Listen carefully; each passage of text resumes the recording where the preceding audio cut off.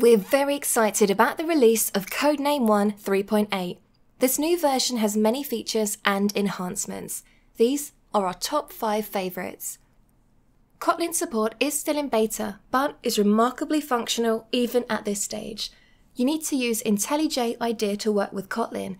First, you need to open Codename One Preferences and select Extensions to install the Kotlin extension. Once that is done, we refresh the libraries, and at this point, we can convert the Java file to the Kotlin file. Notice that there are some caveats when dealing with Kotlin. We need to mark the class as open, otherwise Kotlin implicitly marks it as final. We also need to add a question mark to the end of the init method argument, since it can be null, which isn't supported by default in Kotlin. Once all of that is in place, the Kotlin project runs as expected we made huge strides in the native look of Codename One applications. On the left, you see the before picture for the text input on Android devices, and on the right, you can see the results of our work. This feels like native Android material design, and it should work that way out of the box. The user interface automatically animates the hint label into place, as is common in material design, and matches many of the design nuisances. This even supports the material design error messages.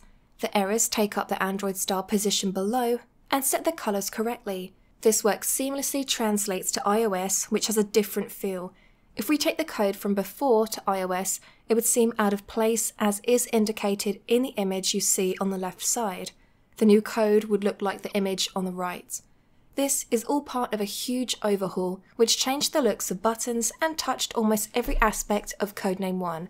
This work is still ongoing. The on top side menu is also a part of the look and feel work, but it stands on its own. On the left, you can see the old side menu, which gives the impression of sliding below the UI while pushing the form to the side. The new side menu slides on top and it tints the underlying form. This isn't just a visual special effect. The code is completely different. The new side menu uses a completely new architecture and works much better for complex usages such as native maps. We made some big changes to the GUI builder in the last update. This time we mostly refined it. One of the big things we did is new support for styling directly within the GUI builder. This makes common use cases far easier and reduces some of the dependencies on the old designer.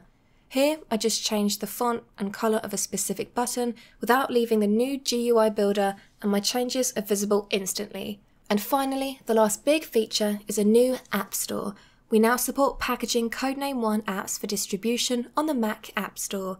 This just requires the new signing UI from the settings. We already support the Windows Store via the UWP port, which means we support all the major desktop and mobile stores now. I hope you are as excited as we are about Codename One 3.8. Download it now from our site and let us know what you think. Thank you.